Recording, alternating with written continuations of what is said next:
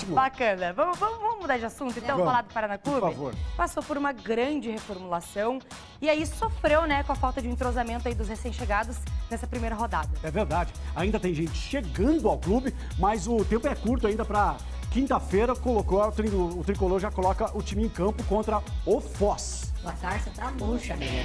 Falando. Sete estreantes e um time que só treinou 18 dias até a primeira rodada. As mudanças em profusão no Paraná aumentaram as dificuldades do início de temporada. São jogadores que basicamente não jogaram juntos nunca na vida.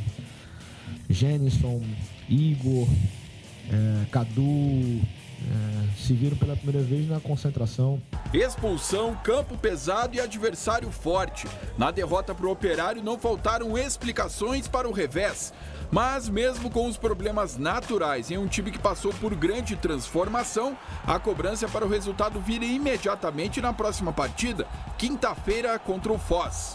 Nós precisamos evoluir na construção ofensiva. Nossa equipe cri- criou pouco.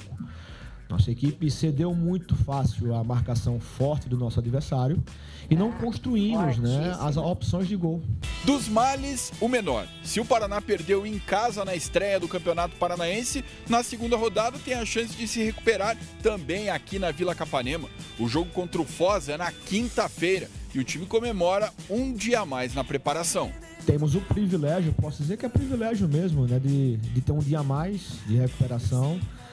Nosso jogo não é na quarta, é na quinta, então teremos aí uma recuperação total do jogo e podendo ainda uma sessão, usar uma sessão de treino para encaixar bem, fazer um jogo forte e buscar recuperação na quinta. A expectativa do clube é pela regularização de novos contratados. Os experientes Cléo, atacante, e Leandro Almeida, zagueiro, devem estar à disposição nas próximas rodadas. Talvez ainda não diante do Foz.